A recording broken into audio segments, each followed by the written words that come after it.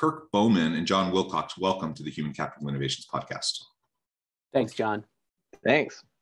It is a pleasure to be with you. I'm super excited to talk about your recent book, Reimagining Global Philanthropy. And we're going to be talking about philanthropy, of course, and, and new perspectives, new approaches to how we can go about doing this and doing this more effectively with greater social impact.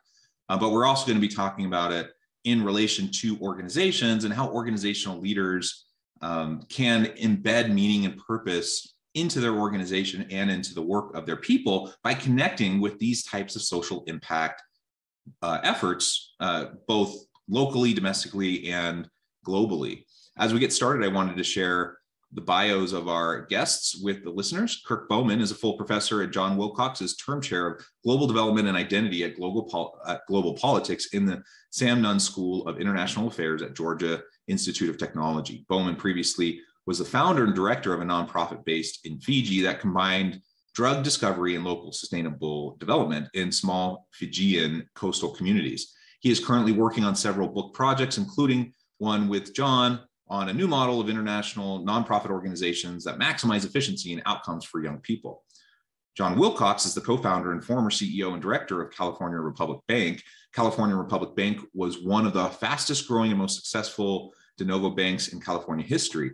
He has been and remains an active early stage investor in numerous companies and industries, including computer technology, media products, biotechnology, and financial services. Wilcox current and prior board affiliations include South Coast uh, Repertory Junior Achievement, Very Special Arts, West Side Center for Independent Living, and Fiji Reef Resources. What a tremendous background uh, that both of you have, uh, wonderful expertise, uh, diverse perspectives that you bring to the table and combine uh, in your collaborative works. I think it's wonderful. And as we were talking about in the pre-interview, I'm joining you uh, from south of Salt Lake City in Orem, and both of you actually uh, were roommates just up the street in Provo uh, during your time as students at Brigham Young University. It's a small world. It's a pleasure to connect and to have a chance to chat. Anything else either or both of you would like to share with listeners by way of your background or personal context before we dive on in further?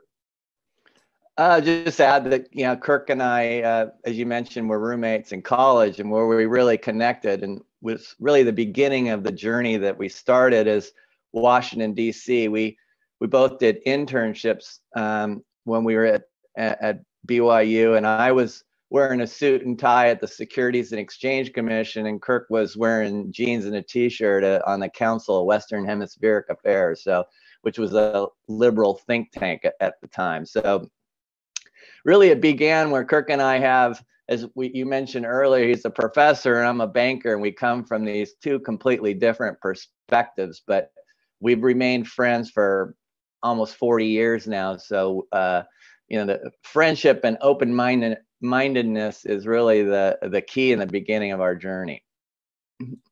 Yeah, that's excellent. And Kirk, anything you would like to add? I'm just I'm I'm really happy to be here, and I think that that what Jon just said is really one of the key for the work that we've done together is that we have completely different experiences. I remain probably much more progressive or liberal than Jon, um, and and in this day when people are so uh, cloistered with people who think like they do and they don't communicate and they just lash out, I think we get a lot further in all sorts of endeavors if we sat down and empathetically listened to people who disagreed with us.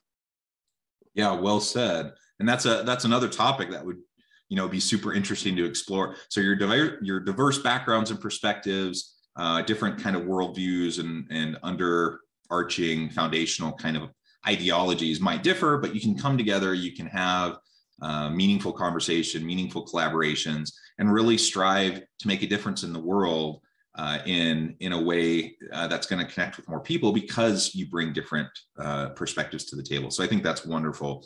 Uh, in your in your book, reimagining global th- uh, philanthropy, it's interesting because again, you have an academic background, you have a, a financial services banking background, um, coming at this similar problem of philanthropy, global um, need, social impact, those sorts of topics.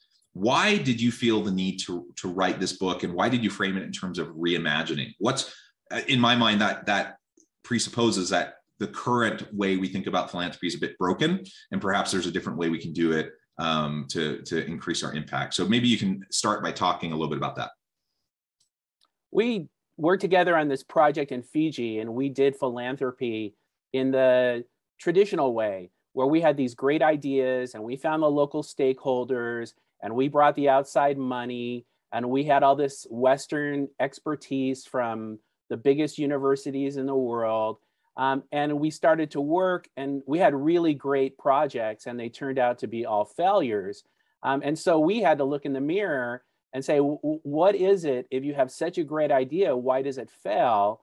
And we looked at a bunch of examples, and it, we, we discovered that almost all of these Western led projects to lift up the locals and civilize them and bring them development end up as failures. Um, and so we had to reimagine for ourselves if we wanted to have an impact in the world.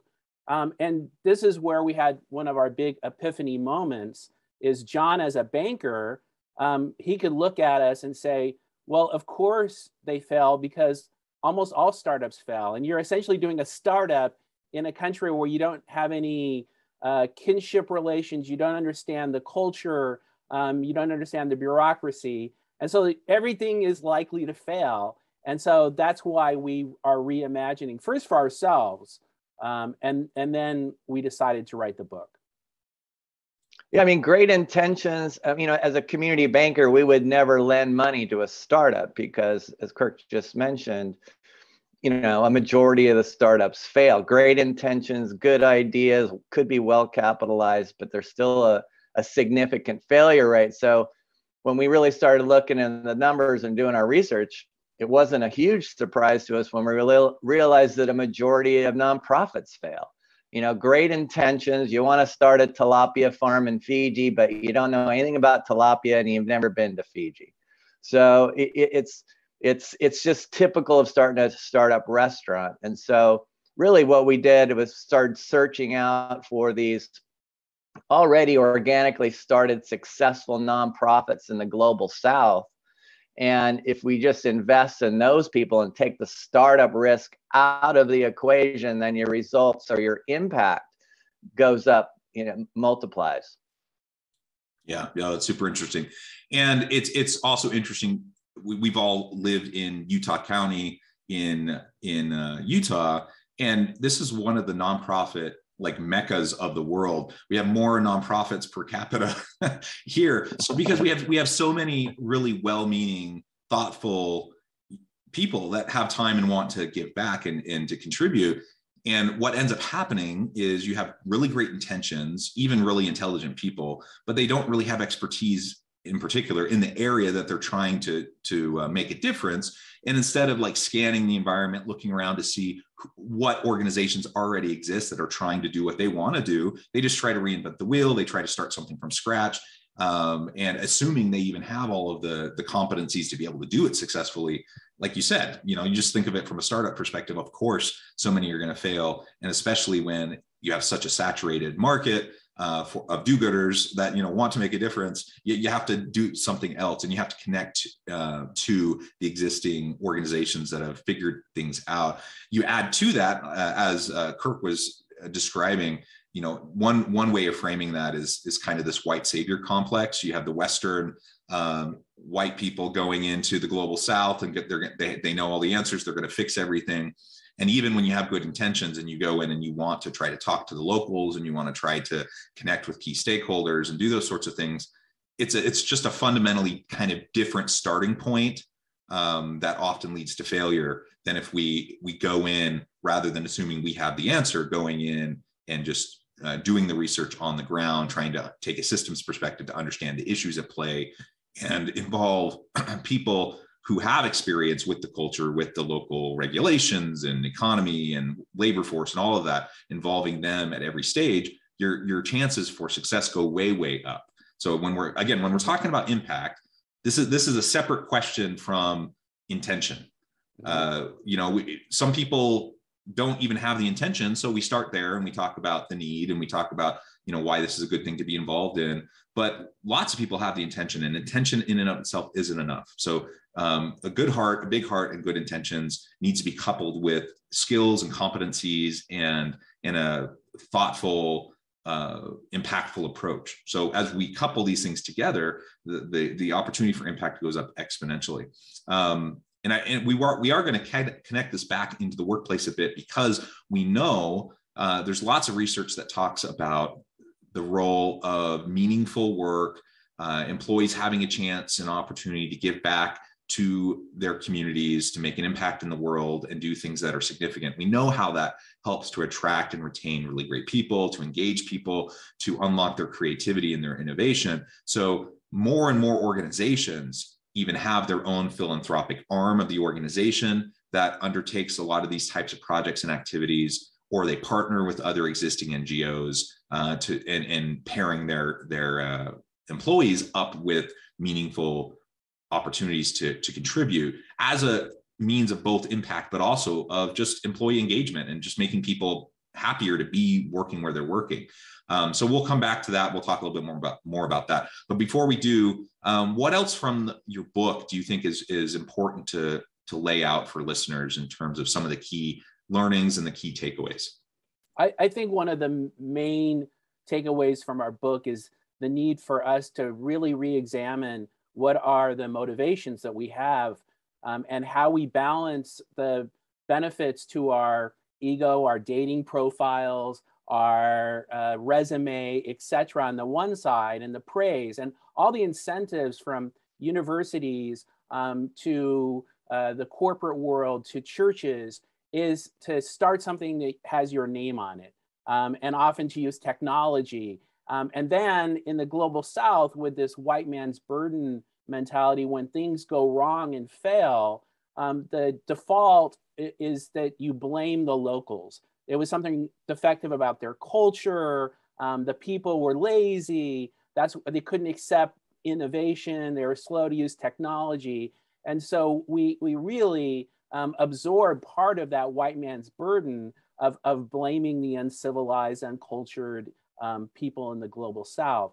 Um, and what we discovered is if you want to have the greatest impact and you're not worried about the praise and the glory um, and the job prospects, etc., then the best is to try and be an anonymous sidekick because these communities, they need role models that don't look like us three these communities in the global south need role models who look like the kids in those neighborhoods um, and we can uh, just kind of take away all of the the glory and praise and celebrity as we come in as this you know bushwhacking uh, uh, person from the global north. So we need to be sidekicks instead of superheroes.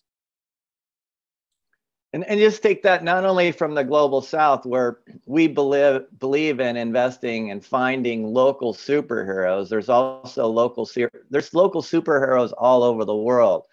And both in salt lake and our own backyards. And as a banker you know we're compelled to invest in our community through the community reinvestment act and and and we would never as a banker tell somebody how to run their business we would find somebody who's already operating a successful model and give them debt or leverage to do more of the same. And it's really the same kind of model. You find these local superheroes are already doing the heavy lifting, already know what they're, you know, in many cases, these people were born to do this. They, they, they, it's their dream to help others. And you find these people and you invest in them, uh, and your results, your impact go way up. Yeah, yeah, absolutely. And it's a hard thing because so much of the world of philanthropy, especially historically, is you you big you run big galas, you invite a bunch of wealthy people, uh, you invite them to to donate money, and it it is largely ego driven. I mean, you're trying to shine a light on people and their contributions and put their name on things. Um, and you know, there's don't get me wrong like I, am all for people donating and if they can get some credit and and get their name on a building or something you know fine i, I like people sharing their wealth um, but your point about getting your your ego out of it like you you're you're a supporting sidekick to it it's not about us it's about the need we're trying to uh, to to support or to help with, right? So if I'm going into another community, it's not about me at all. I, I might be a tool and a mechanism to to to contribute, um, but I, I shouldn't fall into the trap of making it about me. And you know, the people I surround myself with on my team, they need to have similar mentalities. And and when that doesn't happen, you do see uh, a lot of reinventing the wheel just so you can put your own little spin on it and claim innovation and claim that you're a genius um, those sorts of things. I see it all the time. And even if we get out of the realm of philanthropy and social impact and we just talk about within organizations new uh, new innovations new initiatives new programs things that can help drive success for your teams and for your your institution um, I, I see it so often when i'm working with executives and with organizations where it's it's a completely ego driven thing. They they they yeah.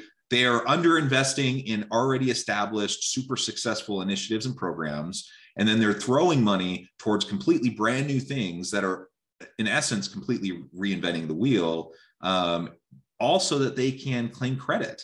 And it's it's it's incredibly wasteful uh, it's incredibly demoralizing to employees when they're in an organization where leaders do that um, and and there's just so many negative uh, impacts. So again, if we're trying to drive yeah. meaningful social change, let's let's do it in a way that makes sense.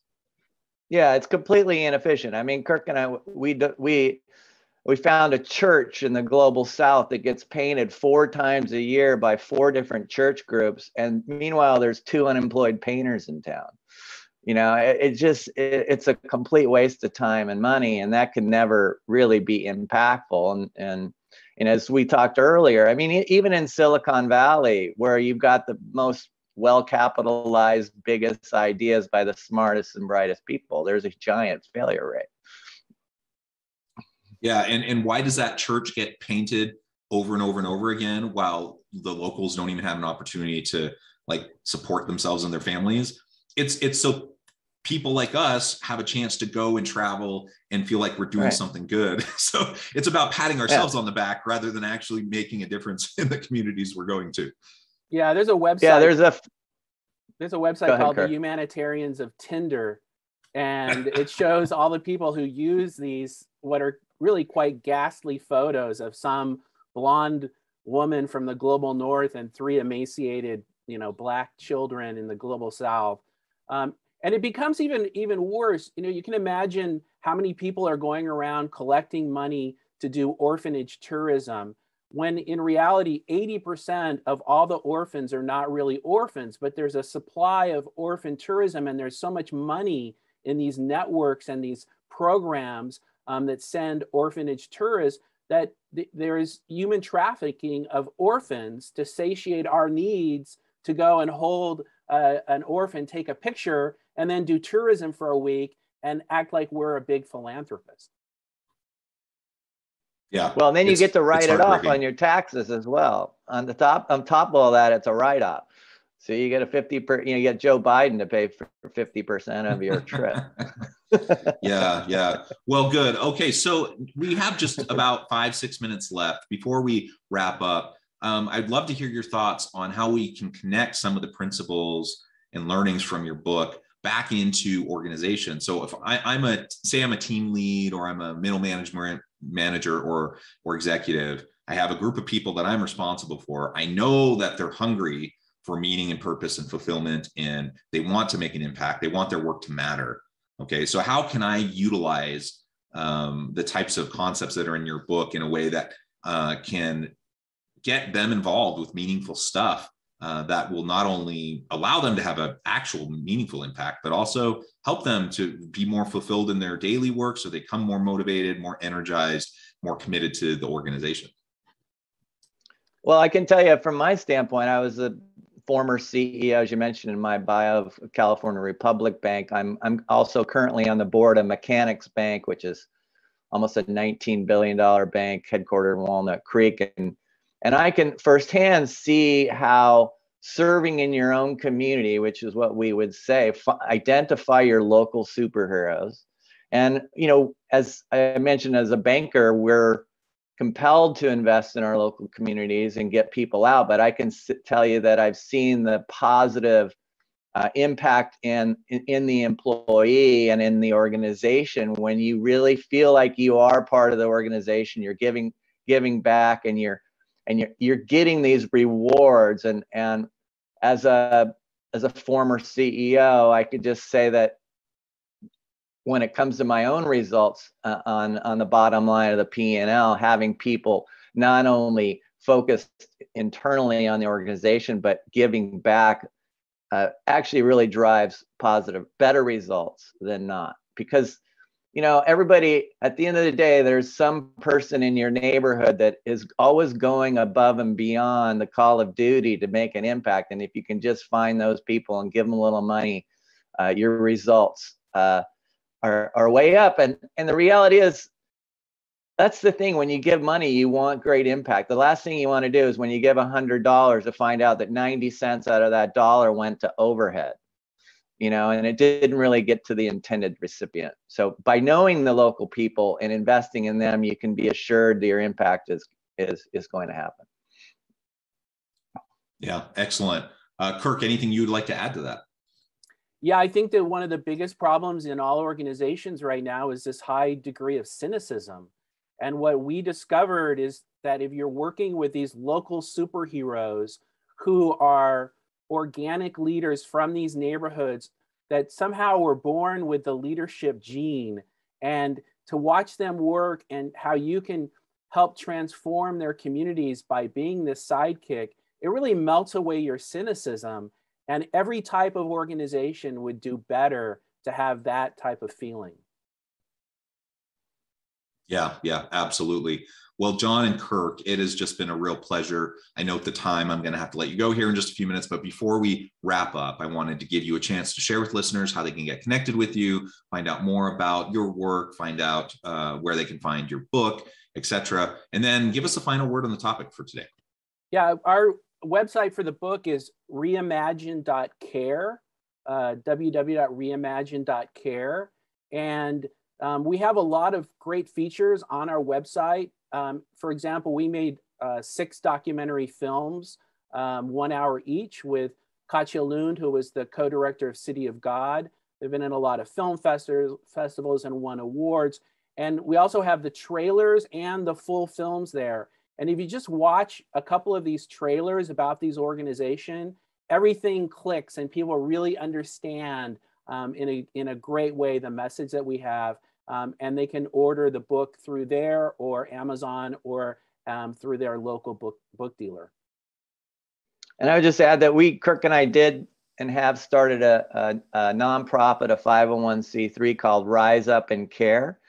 And you can uh, uh, look at that called riseup.care. Kirk and I cover all the overhead, um, so a hundred cents out of every dollar goes to the intended recipients that we support in the global south. As you, as Kirk mentioned, you can look at the documentaries. You can see firsthand these local superheroes in the favelas of Rio de Janeiro and what amazing work they're doing. Excellent. Thank you both. It has been a real pleasure. I encourage listeners to reach out, get connected, find out more about what Jon and Kirk can do for you. Check out their book, check out these videos, these documentaries. There is a tremendous world of need out there. Every community has pain points, every community needs more support. And there are these complex, persistent social problems and ills uh, that aren't going to go away. They require us to make a concerted effort from a holistic systems perspective uh, in order to make a difference. And, and our people in our organizations want to be part of that change. They want to be part of that impactful difference. So let's find ways to make that happen. I think this book will be a great resource for that. Thank you, Jon and Kirk. It's been a pleasure. I hope listeners get connected. And as always, I hope everyone can stay healthy and safe, that you can find meaning and purpose at work each and every day. And I hope you all have a great week.